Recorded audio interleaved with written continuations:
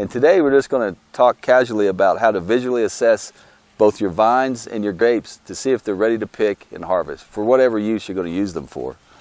So the first thing you would look at as a vineyardist or a vineyard person is the plant itself and especially the canes. So this is a cane and if you'll see, if you look closely, it's somewhat brown and lignified, meaning it's later in the season, the plant's ready to go dormant and become senescent. That's a good thing. The wood is mature. So then the berries are probably close to being mature as well. Up here we have a, a, counterpoint to that maturity that you just noticed. And this is a lateral. And you can see the wood on it is not wood yet. It's still green and quite flexible. So this is not mature. Just to show you the difference, okay? All right. So if we move back here, well looky here, I found some grapes. This is a bunch of grapes. This is mission grape. It's probably one of the oldest varieties grown in the state of New Mexico. It was probably brought here in the 1600s by the Spanish missionaries. One of the knocks on mission as a wine grape is the lack of color in the juice. And even though these grapes are somewhat mature as far as sugar content goes, you can see that the color is still quite light.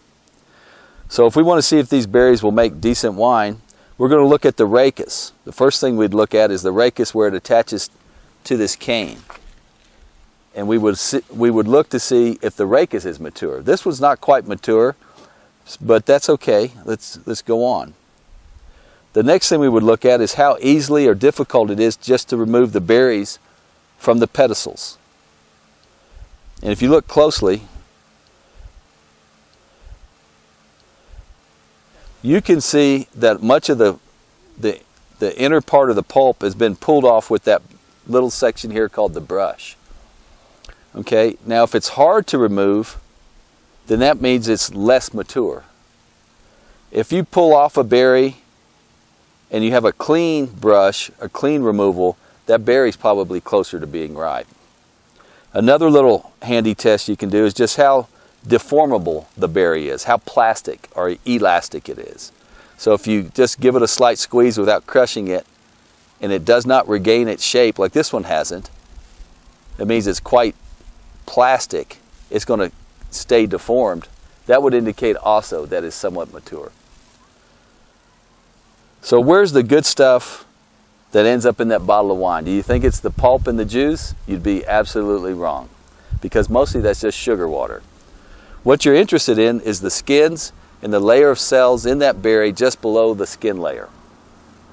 So one thing you can do to, to judge the maturity of that skin is simply to crush it between your fingers. If it doesn't maintain its integrity, in other words, you're able to break it up, and it gives up purple juice, you would say it's mature. Now it's not giving up a lot of color here, but the berry skin itself is breaking up somewhat. So it's getting close. The next thing you would do, yep, taste the berries. And um, more importantly, look at the seeds. So there's some grape seeds, obviously. And if you look closely on the, on the bottom side of them, you'll see that they're still somewhat green. Okay, the next test is to go ahead and chew those seeds. Chew them up. A lot of the tannins that are contained in the seeds are essential to the wine's uh, structure. Okay, so chew the seeds, and you'll notice some grippiness both on the sides of your palate, and then take your tongue and rub it across the top of your palate. If it somewhat catches, then those tannins aren't as mature as they could be. If it slides easily, they're closer to being mature. Okay, so it's a simple um, sensorial test you can do. All right, so we've looked at the maturity of the wood. We've looked at the berry rachis. We've looked at how hard or easy it is to remove the individual berries from the pedicels. We've looked at the skin integrity. We've judged the seed maturity. So all those things combined together should inform you on your picking or harvest decision. Thank you.